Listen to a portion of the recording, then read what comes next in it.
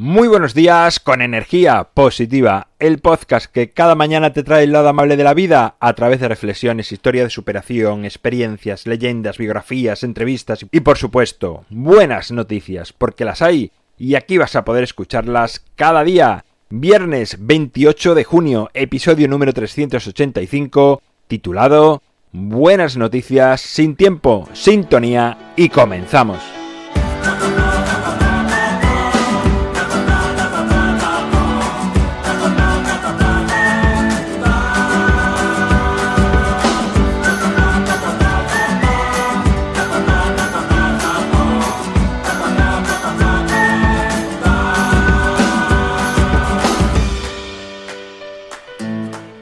Buenos días de nuevo, es viernes, último día de la semana y además último día de este mes de junio que podrás escuchar este podcast porque el lunes cuando volvamos será julio.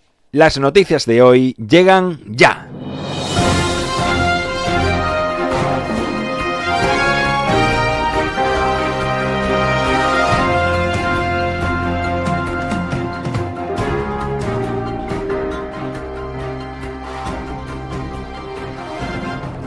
Los habitantes de Somaroy, un pequeño pueblo noruego situado en el Círculo Polar Ártico, han presentado una petición para eliminar de manera oficial el uso horario y convertirse en el primer lugar libre del tiempo para que cada persona viva al ritmo que quiera.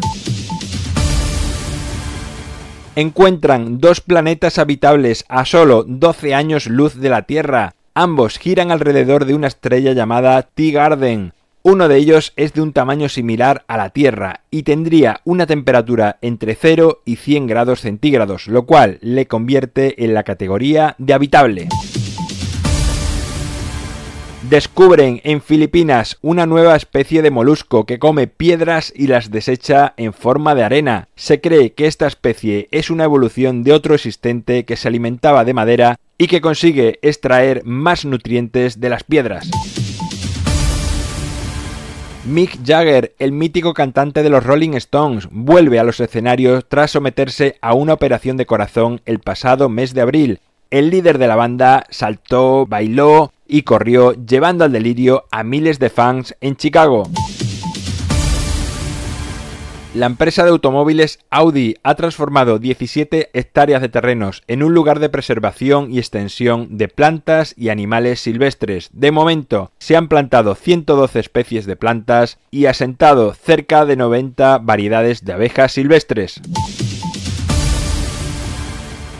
Bueno, pues hasta aquí las buenas noticias de esta semana, las buenas noticias de este viernes y las buenas noticias de este mes de junio.